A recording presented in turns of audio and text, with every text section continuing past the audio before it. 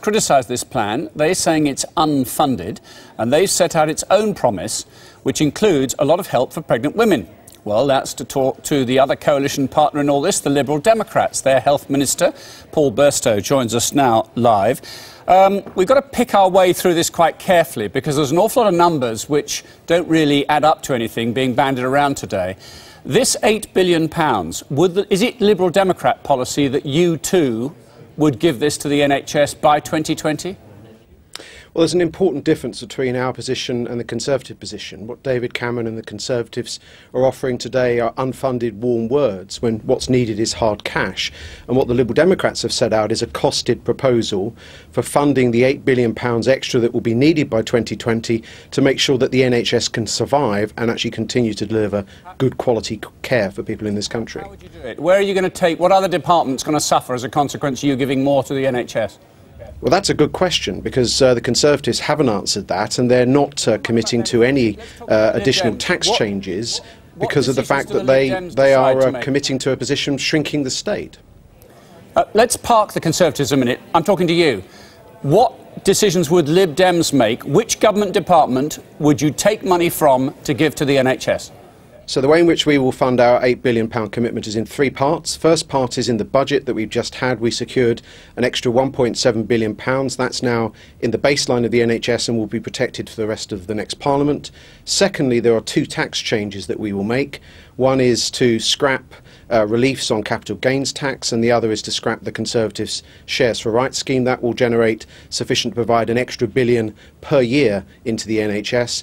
And then finally, once we've paid off the deficit, which we are committed to do by 2017 18, then we will be able to invest the proceeds of growth that we will see in terms of tax revenues, which are forecast by the Office of Budget Responsibility, in making sure that the NHS by 2020 has the extra 8 billion. The Conservatives have set none of those details out, and Labour have confirmed today they either won't or can't do that. Well, we'll, we'll come to questions for Labour and we'll hear from their leader in the next hour of coverage today, so we'll question them in due course. Uh, I'm not sure where your 1.7 billion, a billion from tax changes and a billion from share schemes, even my elementary maths doesn't come anywhere near eight.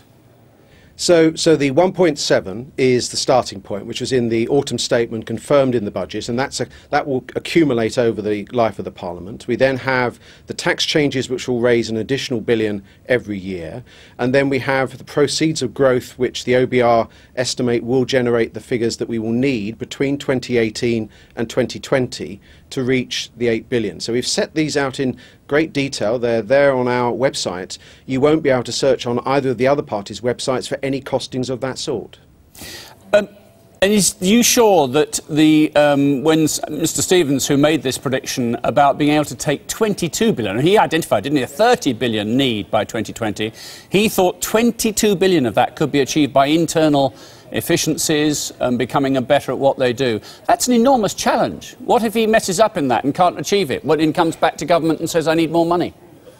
It, it is a tough uh, and ambitious target that he has set out. Uh, the NHS has done remarkably well during the life of the last Parliament to uh, provide those sorts of efficiencies, uh, and we certainly uh, want to support Simon Stevens, and that's why we set out very early on our funded commitment to this additional 8 billion to give the NHS that certainty. What the Conservatives failed to do today by spelling out how they will pay for their policy is actually that certainty. Warm words aren't enough, hard cash is essential. Well, to be fair to them, they are, in some um, Facebook postings I'm just scanning through now, setting out exactly their track record. And they're trying to ask us, they're inviting us to believe we did it last time, we made efficiency savings, and we found money for the NHS. So over the five-year target, we can be trusted to do it again. I'm praising, but that's essentially their message. And, and, of course, that track record is the Liberal Democrat track record in government as well. But we recognise that actually the challenge the NHS faces over the next five years is greater than the challenge it's faced over the last five years.